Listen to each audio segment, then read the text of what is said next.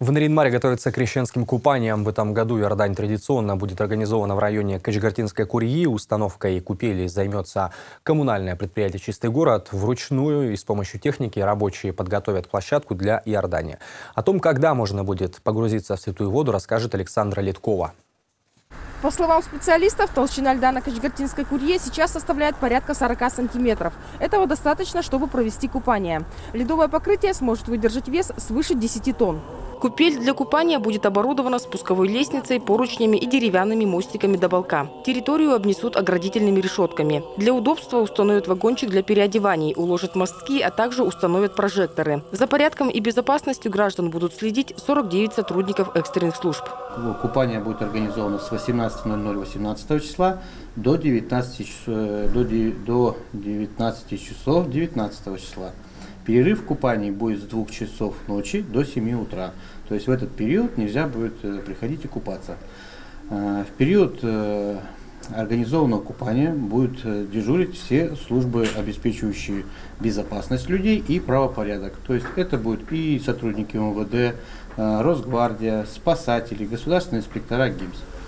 Крещение Господне – один из самых больших праздников Русской Православной Церкви. В этот день принято набирать в церкви освященную воду, которая наделена чудодейственной силой, а потом самые храбрые верующие погружаются в Иордань. Взять с собой для купания в первую очередь нужно большое махровое полотенце, чтобы после купания растереться и избежать переохлаждения. Также нужна удобная сухая сменная одежда, которую можно быстро надеть и горячий чай в термосе. Опускаться в воду нужно постепенно. Резкое погружение может вызвать спазм сосудов.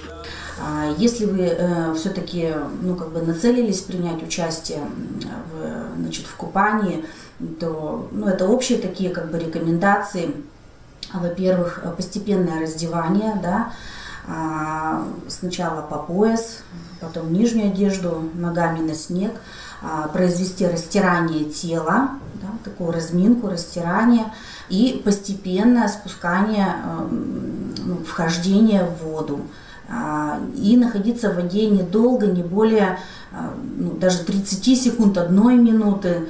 Этого времени вполне достаточно, чтобы погрузиться три раза под воду с головой, как это принято. Ни в коем случае не стоит совершать обряд очищения в алкогольном опьянении. Кроме того, не должно быть противопоказаний по здоровью. Поэтому тем, кто решил совершить погружение в прорубь, стоит проконсультироваться с врачом. Прежде всего, это люди с хроническими заболеваниями, особенно заболеваниями сердца. Да? Любые болезни сердца, особенно аритмии, ну, вот, ну, как бы явное противопоказание купанию. С сахарным диабетом, с заболеваниями, остеохондрозом, заболеваниями позвоночника, артрозы, а, любые острые заболевания. То есть если в этот период э, пациент болеет острой вирусной инфекцией или какими-то другими острыми воспалительными заболеваниями, то в крещенские купания лучше не участвовать и не рисковать своим здоровьем.